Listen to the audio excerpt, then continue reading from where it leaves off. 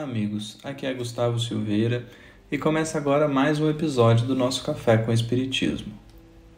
Hoje nós gostaríamos de refletir sobre uma fala bastante profunda de Emmanuel que está registrada no livro Pensamento e Vida, no capítulo 10, intitulado Entendimento, e o benfeitor escreveu assim: Apequenar-se para ajudar, sem perder a altura, é assegurar a melhoria de todos, acentuando a própria sublimação.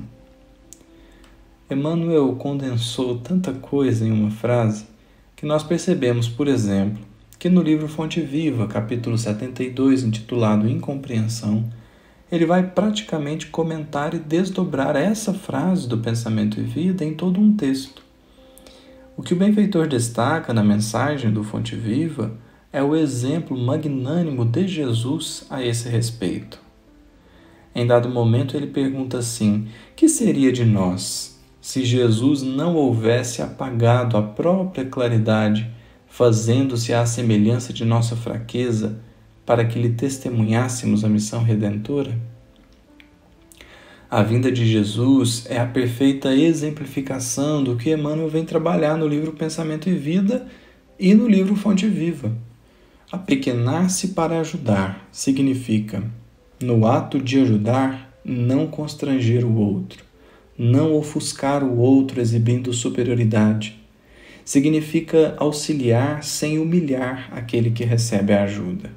Aliás, muitos de nós, não sabendo apequenarmos-nos, acabamos por ferir mesmo a dignidade daquele que recebe nossa ajuda. Por isso, Emmanuel dirá no Fonte Viva: Descer para ajudar é a arte divina de quantos alcançaram conscienciosamente a vida mais alta. A luz ofuscante produz a cegueira. Se as estrelas da sabedoria e do amor te povoam o coração, não humilhes quem passa sob o nevoeiro da ignorância e da maldade. Gradua as manifestações de ti mesmo para que o teu socorro não se faça destrutivo. Não te faças demasiado superior diante dos inferiores ou excessivamente forte perante os fracos. A esse respeito, por exemplo, poderíamos até mesmo interpretar um versículo do Evangelho de João, que diz que no contexto ali da morte de Lázaro, Jesus chorou. Difícil dizer o que teria levado Jesus a chorar. Todavia, não deixa de ser notável que nós interpretemos o choro como sendo algo de vulnerabilidade ou de fraqueza até, e de repente ali temos o governador do mundo chorando? Será que com isso Jesus não estaria nos ensinando a não ser demasiado superior diante dos inferiores ou excessivamente forte perante os fracos? Mas ainda aqui cabe lembrar que a frase de Emmanuel não se encerra no apequenar-se para ajudar há que se considerar que ele também afirmou apequenar-se para ajudar sem perder a altura.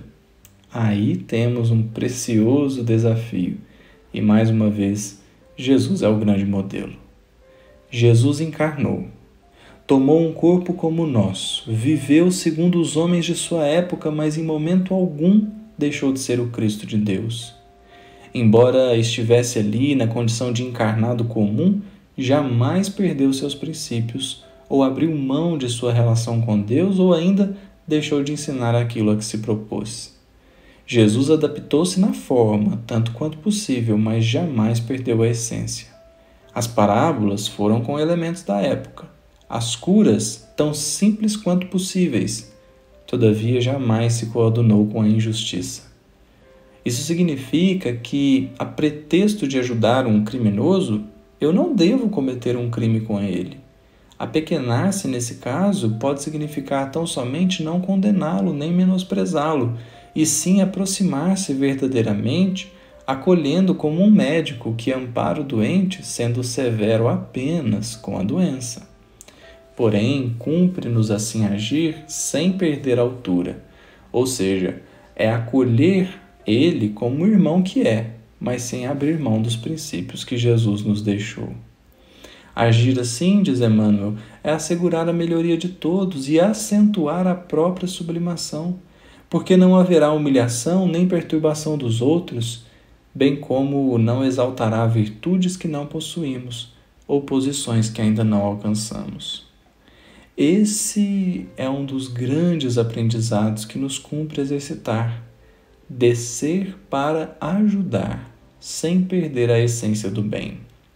Adaptar métodos e formas, mas jamais abrir mão do amor e da caridade bem compreendidos e bem sentidos, a fim de que verdadeiramente possamos ajudar e reerguer, sublimar e elevar. Um grande abraço a todos e até o próximo episódio do Café com Espiritismo.